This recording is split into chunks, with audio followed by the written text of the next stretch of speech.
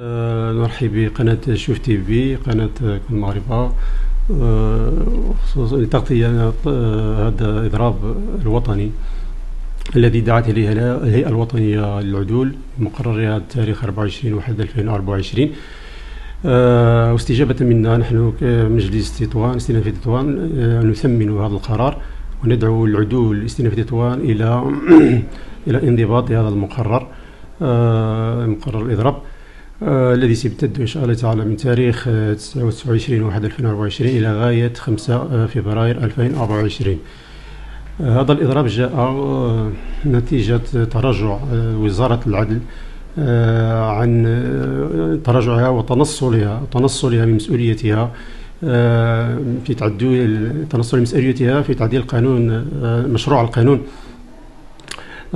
الذي مس مشروع قانون 16 22 وخاصة في المادة 52 وعندما وتصريح الوزير الذي أكد بأن هناك جهات مختصة هناك جهات مختصة ترفض إسناد إيداع إيداع صندوق إيداع للعدول. نحن نريد أن نعرف من هي هذه المختصة التي تدخل في اختصاصات العدول إلى جانب وزير العدل.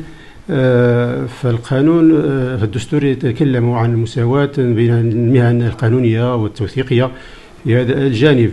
فلا يمكن حرمان العدول هم جهات رسمية توثق جميع العقود الرسمية الرسمية منها العقارات بيوعات العقارات المحفظة وغير محفظة وتأسيس الشركات والرهون والرهون وغيرها من البيوعات. إلى جانب الوثائق الأسرية توثيق المسائل الشخصية من زواج وطلاق وإراثات فنحن كجهة رسمية توثيقية يجب أن تعطى لنا الضمانات من أجل الاشتغال في ظلها. فإن القانون من أجل تسهيل من أجل تسهيل وتسريع الوثيقة العدلية وتصبح مثل مثل باقي الوثائق الرسمية. فالتمييز بين المهن يجب أن يكون وذلك أن جلالة الملك أكد في مناسبة أخرى بأن يجب تحديث هذه المهنة وتأهيلها كباقي المهن القانونية والقضائية. نحن نستنكر تصريحات الوزير أمام وزير أمام جوابه من خلال جوابه أمام مجلس المستشارين خلال اللي طرحت عليه. لماذا؟ لماذا؟ لماذا يتم إسناد إذاعة للعدول؟ وأكد بأن هناك جهات مختصة لم تريد منح العدول هذه هذا هذا الاختصاص.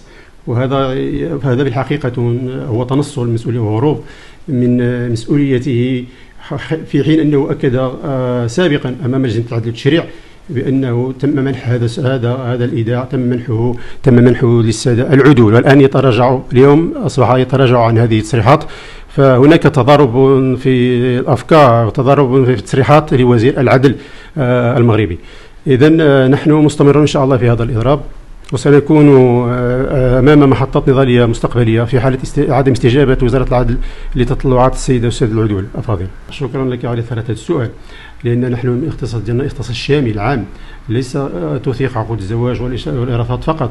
نحن نوثق جميع العقود. أنا سبقت لك بأن قلت لك عقارات محفظة وغير محفظة وفي طور التحفيظ وعقود الشركات والرهون وهذا.